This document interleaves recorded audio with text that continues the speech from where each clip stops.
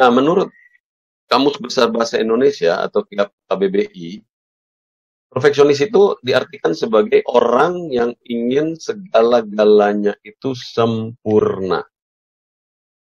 Orang yang ingin segala-galanya itu sempurna. Kurang terlalu, tidak terlalu jelas ya. Oleh sebab itu saya mengambil definisi yang berikutnya, yaitu dari Wikipedia. Nah, dikatakan uh, di sini bahwa perfeksionis adalah keyakinan bahwa seseorang harus menjadi sempurna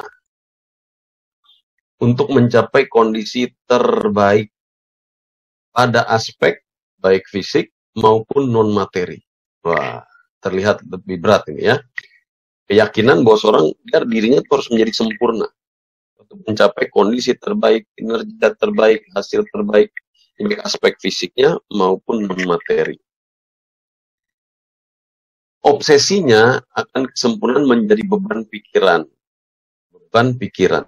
Ini sudah obsesi. Orang perfeksionis ini terobsesi atas kesempurnaan. Dan ini menjadi beban pikirannya dan bukan itu saja, dia meletihkan perasaannya.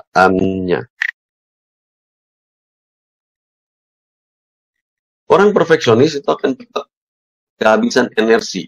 Ya, jelas ya, karena letih perasaannya, beban pikiran, dia akan cepat kehabisan energi.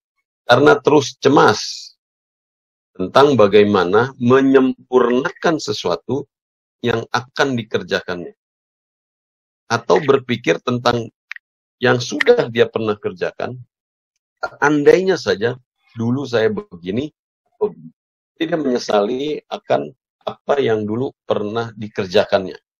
Tapi cemas bagaimana menyempurnakan sesuatu yang akan dikerjakannya.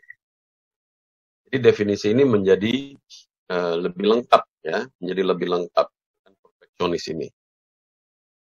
Nah, mengutip Julia Cameron, Perfeksionis ini bukanlah sebuah pencapaian yang terbaik, justru pengejaran yang terburuk di dalam diri kita. Ya, sebuah bagian yang memberitahu kita bahwa apa yang kita kerjakan itu tidak cukup baik. Malah kita terus mau mencoba lagi, mencoba lagi. Jadi ada dorongan terus untuk lakukan lagi, lakukan lagi, perbaikan lagi, perbaikan lagi. Ya, ini yang membuat kita capek. Kita pikir itu pencapaian yang terbaik, tapi bukan. Itu adalah pengejaran yang justru terburuk ya kita tidak akan mengerjakannya dengan cukup baik. Jadi terus menerus kita mencobanya.